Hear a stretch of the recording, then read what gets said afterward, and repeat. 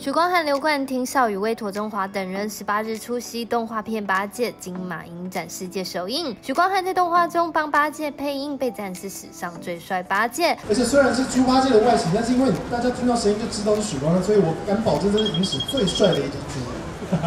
没有，那你是怎么配音这个角色的？因为其实一开始就觉得你在片中甚至还可以听到你有一些可爱的猪叫，对不对？是。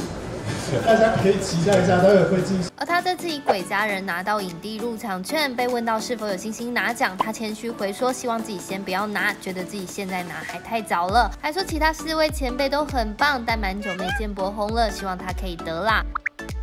赵雨薇在访问时也被问到许光汉跟男友吴康仁比较看好谁拿奖，她笑回手心手背都是我喜欢的演员，但手心手背化了都会流血都会痛啊，只能说这次的金马男主角真的是超级的死亡之主啊。